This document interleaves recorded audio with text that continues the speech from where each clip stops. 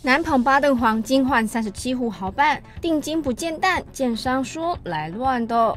我手上拥有的金是全亚洲最大量，一吨是十九亿，八吨一百四十四亿。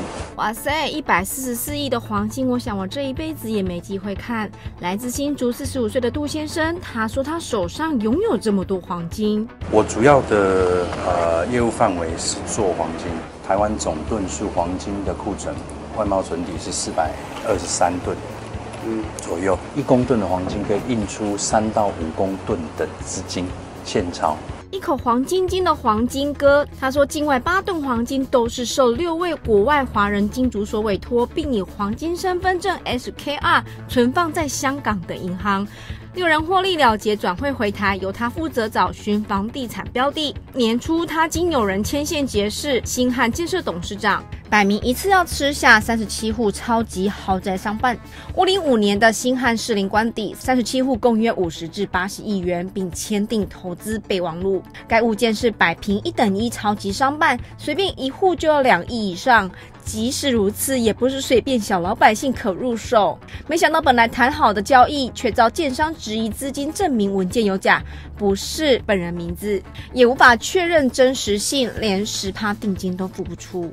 陆先生找了一个朋友来跟我们公司做接洽的这件事情，其实根本从头到尾就是一个子虚乌有的事情。那当时呢，他也跟我们讲说。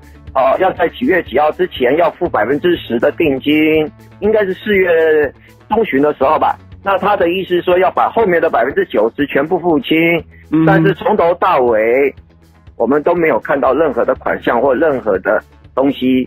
黄金哥则说，他有邀对方到瑞士银行进行财力证明，再来签正式契约，却遭对方拒绝交易。现在他无法对国外金主交代，觉得心汉不守信用，让我把我香港的货全部移回来。货只要移回来，台湾就会有钱。我跟星汉这些交易。就是我们当初谈好的，是用黄金的身份证来做交易，SKR 做交易。不过新的豪宅案这么多，为何黄金各度都偏好五零五年的豪宅呢？不具名建商表示，销售时间长的豪宅建案或高价土地较容易亲近，只要成功一次，利润就是一来一去。不把黄金从国外移进来去争撑台湾的底，你台湾就是空的，你台湾空的。你可以想象越来越多偷抢拐骗的事情发生。